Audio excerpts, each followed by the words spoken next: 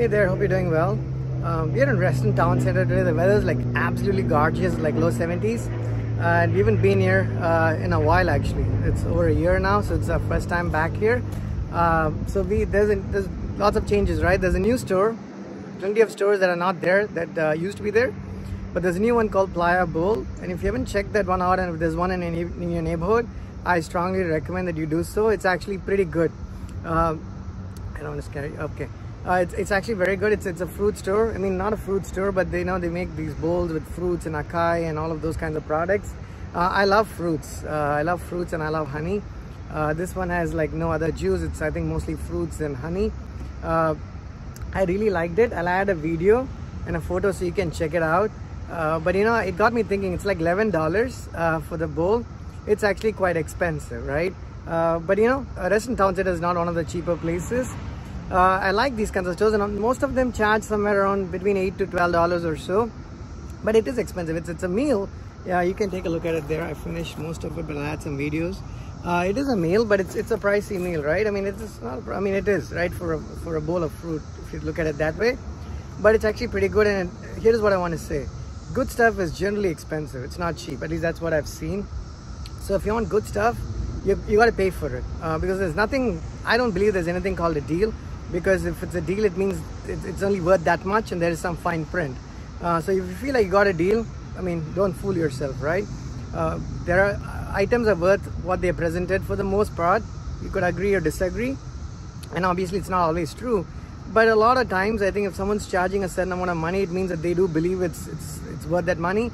And if they if, if their belief is wrong they're going to go out of business soon. If they do not go out of business that means there is some justification to their belief or the trust factor right um, same thing if you extrapolate that theory to engineers, it's the same thing. I think to find good engineers, I say engineers because that's what I do for a living, but you know, it, it applies to all kinds of, uh, you know, all types of jobs, right? But you get the idea. So if you want a good engineer, you got to pay for them. Uh, you try to haggle, negotiate, and bring their prices or rates down. Uh, you're just not going to find the people that you may want to find in the first place. So this is what I tell folks when I when I talk to people you know when uh, people know what they're worth uh, and if they're expecting something and if it's reasonable uh, i think you shouldn't stinge you should probably uh, pay them what they believe they are worth as long as you can afford it because you're going to get your money's worth very soon right? It's very hard to find good resources. And i think when you find somebody that's good who's good you definitely want to do your best in keeping them. Uh, i see that more often than not it doesn't happen i mean not more often i mean i've seen it happen in, in most cases but not so much in other cases uh, and even when I have, uh, you know, interviewed and some people try to, I'm not saying I'm the best engineer, but I'm a decent one, I want to believe. Uh, uh but, you know, I don't, I never negotiated.